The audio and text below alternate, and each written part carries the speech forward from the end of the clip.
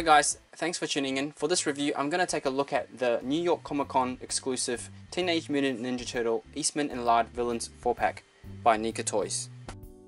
I really like the design of this 4-pack packaging. It's got really lovely artwork in the front. It's good enough to be displayed as is, but you can actually open the lid and check out the figures inside. And on the inside of the lid, there is even more artwork. Again, it's good enough to be framed.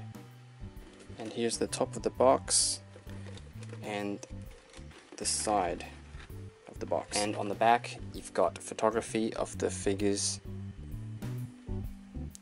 inside.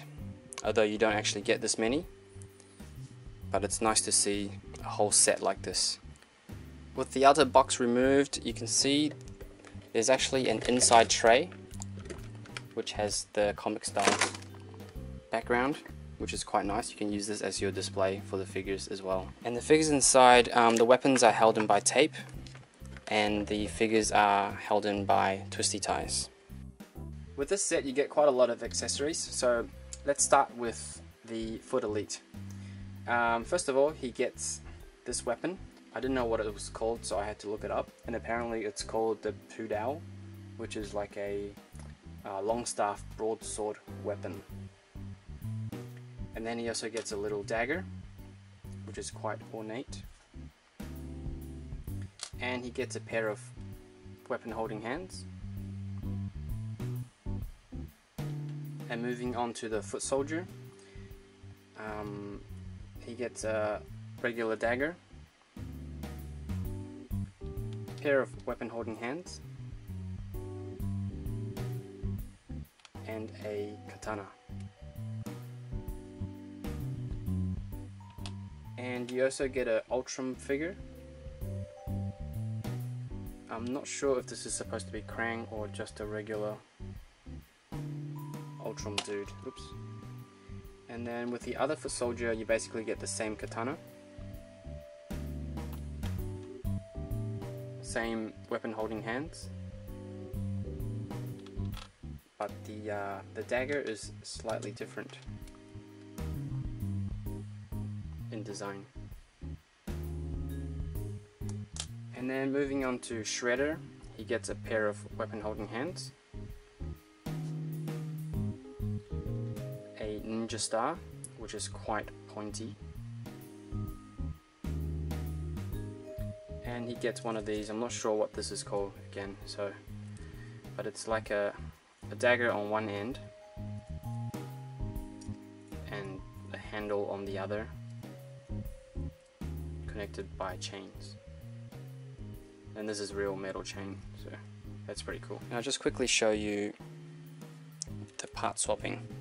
These are brand new out of the box so they are a little bit tight. Oh okay so that's the hand off and then plug it in. The plastic isn't like the Marvel Legend, it's a little bit stiffer. So just have to be careful with that.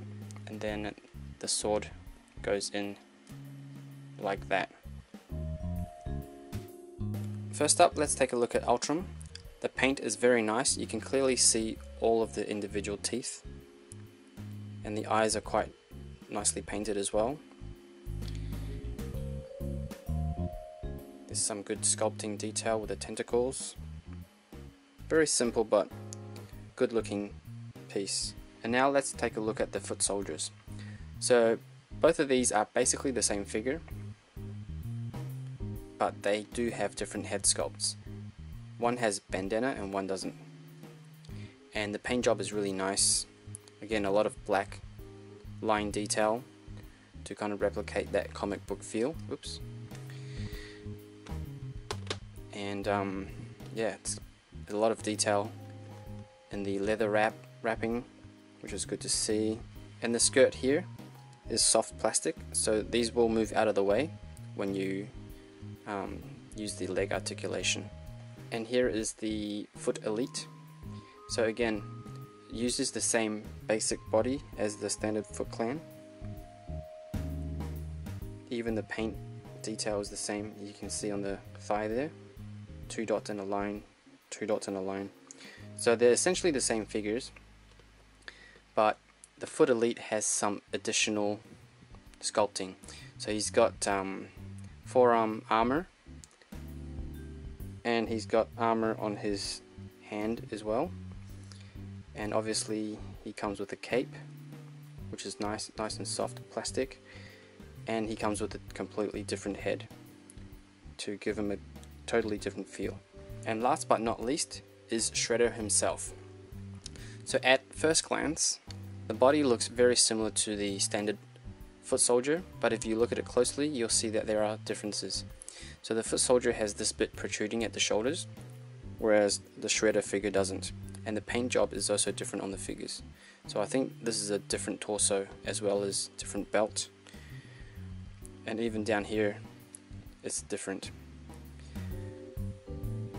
The feet might be the same parts, but the paint job is different. And obviously, Shredder comes with his armor bits and the with the spiky bits on them, on the feet and also on the hands. A lot of detail on that helmet, which is really, really lovely to see. Articulation for this guy is pretty basic. Um, only his front two tentacles are on a swivel joint, so they just go up and down like this. And for Shredder, his head can go down this far, go up that much, and can also tilt from side to side. His um, armor piece is connected to the top of his shoulders, not the arm, so they don't rotate with the arm, which is good. You can lift up the arm this far, it is still a little bit tight, and you can also turn it around, except that the armor piece actually gets in the way, but you can kind of move it out of the way. It is soft plastic. There is bicep swivel, double jointed elbows, so pretty good bend, just over 90 degrees I think, and he's got hinge, uh, hinge and pin joint for the wrist, so he can turn his wrist in and rotate. Um, unfortunately, no ab crunch on these guys, but he does have waist swivel. And moving down to his legs the legs are on a pin and hinge as well. And you can lift up his feet that high. Back that much and he can do pretty much a perfect split. And there is a thigh swivel that's hidden underneath there. Um, I think it's a little bit tight at the moment so I don't want to force it but it is there. And double um, double jointed knees so very good bend there. And he's got um, ankle tilt so he can tilt his ankle down and up and ankle rockers from side to side. And he also has toe joint which is quite rare to see in these figures. And for the standard Foot Clan figures the rest of the body is basically the same as Shredder except there's nothing hindering the shoulders and he can look up a little bit further and down that much and his legs a little bit further than Shredder because I think this this piece is a little bit softer. Again perfect split. And what else is there to show? Yeah so basically it's it's the same as Shredder. And for the foot elite again everything else is the same but let's just have a look at his head. He can tilt down that far and up that far so not as far as the standard foot soldier as there's interference in the back and he doesn't have as much side to side again due to the interference on the sides I almost forgot to mention that these guys also have a shin swivel so they can rotate their feet all the way around. And I think that's all the articulation points. If I've missed anything, just leave a message in the comment below. First up we have NECA Ninja Turtle Raphael, and here they are with Playmates Bebop. And here they are with First Gouking Cerebro, and here's a comparison between the First Gouking Cerebro's version of Krang and the Utrom that comes with the Villains pack.